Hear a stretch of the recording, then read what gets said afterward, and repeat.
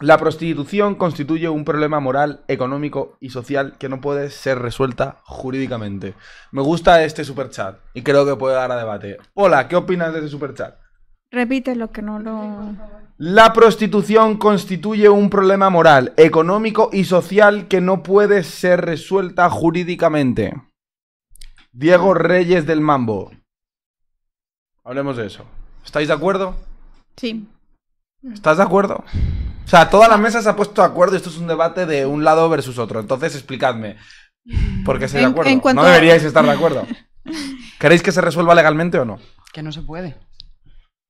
Entonces, que os A ver, sigan tú al lo- margen. A ver, que se A ver, puede... se va a hacer lo mismo, aunque se legalice, se va a hacer lo mismo. Habrá gente que quiera no pagar impuestos y prefiere hacerlo como lo hacen ahora. A ver, nadie quiere pagar impuestos, yo creo. ¿eh? Ya. O sea, yo creo que ningún pijo rojo de estos como Almodóvar y demás va voluntariamente y dice, no, no me has quitado suficiente, toma aquí 50.000 más. No, No. vale, nadie. Estamos de acuerdo en eso, ¿no? Vale. Yo sí que tengo un, algo en contra, Vale. que no estoy de acuerdo 100%. Con ese superchat. Vale, pues dilo. No, primero voy a decir la parte donde sí que estoy de acuerdo.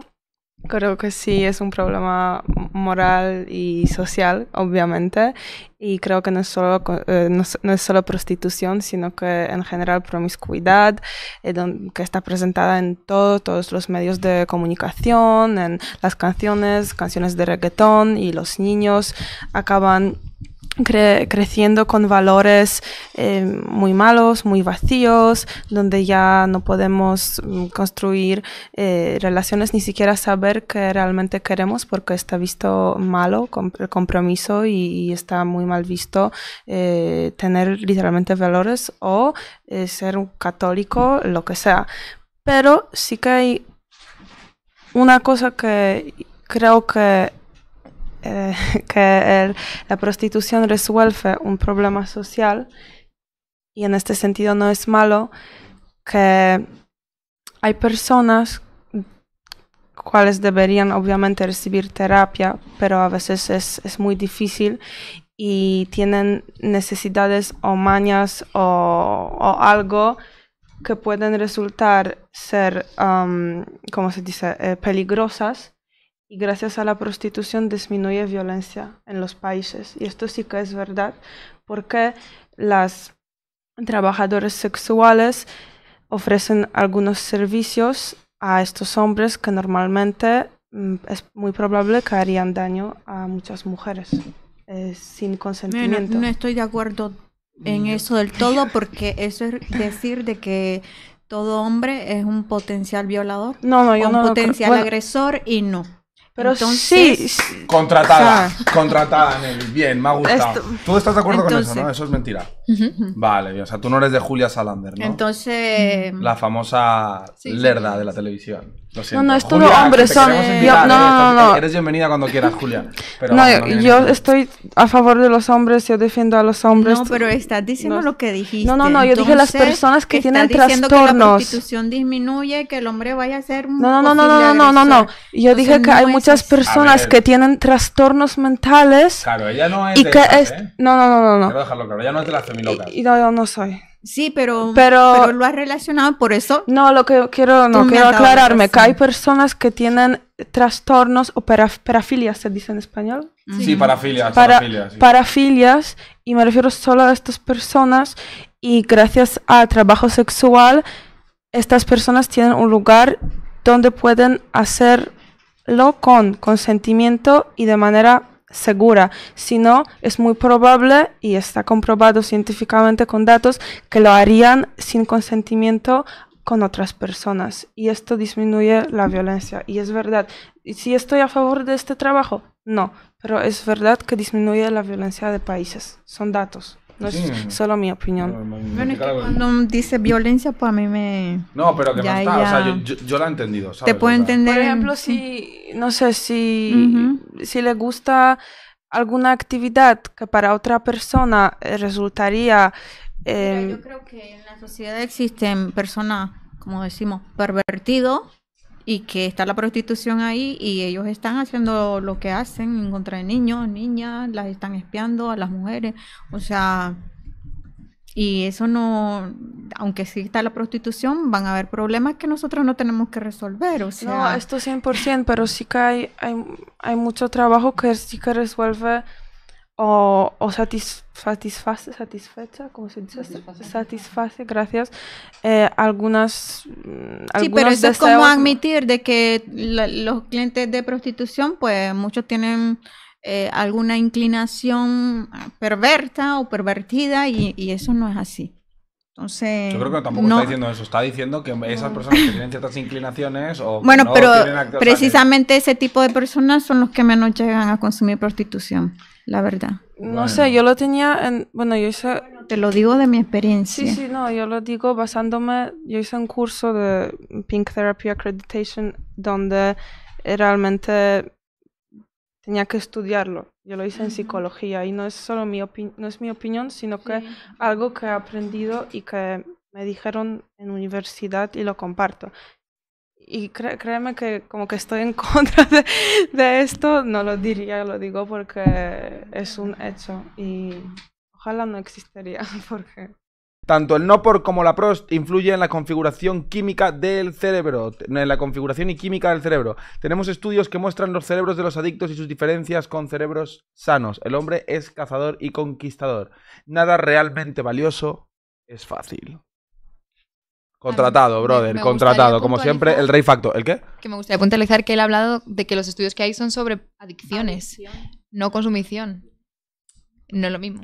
Vale. Es como si te digo. Un- por desgracia, es como decir el que consume cocaína una vez al mes. Todas las adicciones, todos esos procesos que te hacen liberar cantidades ingentes de dopamina, inevitablemente te acaban convirtiendo en un adicto. Es Muy complicado el yo controlo. O sea, todos conocemos al amigo de con los 18 años yo controlo, me voy al Fabric, Rayinu, Rayunu, Rayi, por acá, Pepita.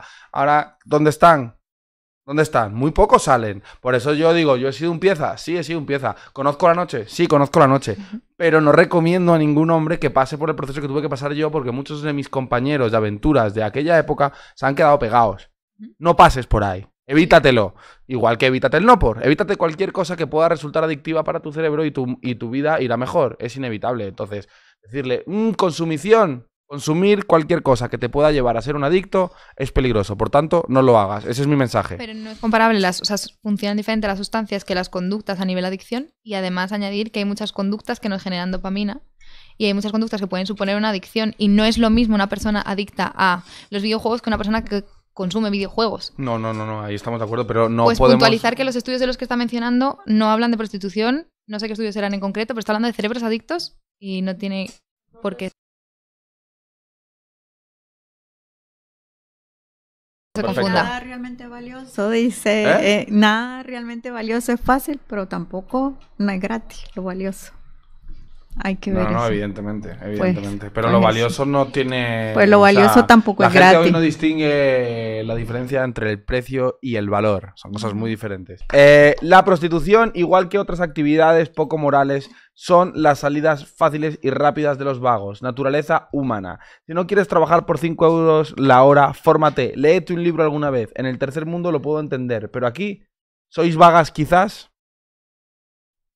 Bueno, depende de cómo lo ve. Mira, a mí, la verdad, No ser camarera no, no va conmigo. la Bueno, puede ser un poco. Pues, Bueno, al menos eres pero, pero, pero hay, pero hay un- una diferencia. No es lo mismo ser prostituta en Europa, donde tus ingresos son más altos y te puede permitir ciertas comodidades, que serlo en, en un país, pues, como uno de estos de África, que es muy diferente, que ahí, pues, la- las cosas son totalmente diferentes y bueno.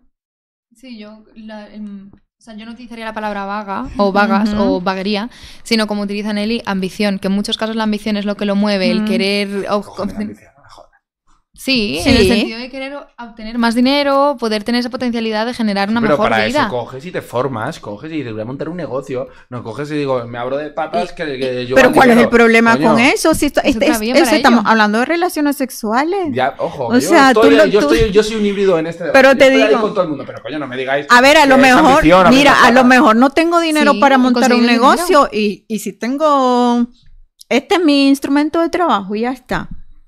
Y no necesito invertir en nada más. habías dado la razón al gran Luis diciendo que sí que eras un poco vaga. Ah, Ahora pues ella sí, va y le da la vuelta a la pues y sí, que pues es te lo voy a y tú, decir. sí, sí, pero ambiciosa. mira, No, ambiciosa, pero eh, a ver, es que no, no. se puede ser no- vago y ambicioso al mismo tiempo. Y sí, ¿Quién y se llaman no? soñadores. Sí, No. soñadores, los que dicen, no, el típico, la típica persona que está en su sofá pensándose. Vago, vago segundo, no es de- no, no, no, no Segundo, en Nelly. todo el sentido de la palabra, que no me voy a ir a un trabajo Claro, normal. Pero ¿por qué porque no? coges, ves, es que ahí es donde está la no? diferencia entre lo que es valioso y lo que no. En vez de coger, sacrificar, amarrarte el cinturón, tener dos trabajos durante cuatro años, Pues no acumular, un segundo, Nelly, me está hablando, acumular una cantidad de dinero de forma honrada y abrirte un negocio e invertirlo, la gente a ti te diría, por donde pasas, eres una máquina. Ahora bien, tú dices, no, yo invertí un negocio después de chupar 80 pitos. Inevitablemente, la percepción que la sociedad te va a dar es completamente distinta al que sí que se ha esforzado haciendo algo honrado y moral. No se puede comparar una cosa con la otra. Por favor, vamos a dejar. Vale. O sea, yo aquí estoy del lado de todo el mundo. Bueno, no, yo nunca estoy del lado de todo el mundo. Estoy de mi lado. Pero, eh, no, Ah, por ahí no paso. O sea, que haya más fácil, más rapidez en el dinero, sí. Y es tu, Eh, tu, yo estoy tu- de acuerdo. A ver, ¿a qué te refieres? Sí, el, Tú el- quieres el que, dinero que- rápido. que- que las- que que no las es- personas se esfuercen más, ¿no? Eso es lo que Esa me es la estás cosa. Yo diciendo. quiero que las personas Que se la- esfuercen. Yo creo que la sociedad Bueno, pero, funciona. pero es Imagínate que, que, todo el tú, mundo tú crees, hace tú lo crees más fácil de y lo más que rápido. la ¿Quién cojo- prostitución es que nadie ha dicho que la prostitución es fácil. O sea, Mm, estamos diciendo eso que es estoy dinero más, más Pero es rápido. es rápido. Pero también lleva un proceso. O sea, tú eres un- una profesional en este trabajo y debes de aprender ciertas cosas, debes trabajar eh, muchos aspectos. O sea, tampoco esto es, bueno, aquí llega y aquí te doy este dinero y ya está. No, o sea, tú te mentalizas, tú tienes una relación con el cliente, tú hablas, tú te- tienes que tener un trato eh, con todas las personas que, que llegan, o sea, tienes que, también te, te, te lo curras un poco, tampoco es así tan fácil. Mm. Bueno, yo Y eso implica esfuerzo. Bueno, esfuerzo no mucho. Bueno. No estoy de acuerdo.